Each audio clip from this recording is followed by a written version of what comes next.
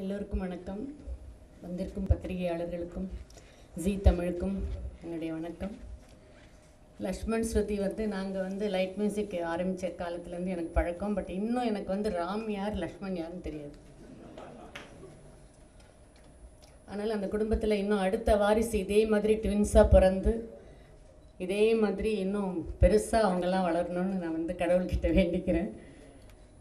நான் மகாராஜபுரம் சந்தானம் சார் அவங்க மகள்கிட்ட பதினஞ்சு வருஷமாக பாட்டு கற்றுக்கிறேன் திருமதி பிருந்தா தியாகராஜன் அவர்கள் அவங்க என்னோட என்னோட எனக்கு என்ன மாதிரி பாட்டுகள் வருமோ அதை வந்து தயார்படுத்தி நான் இது பத்தாவது வருஷமாக நான் சென்னையில் திருவியாரில் பாடுறேன்.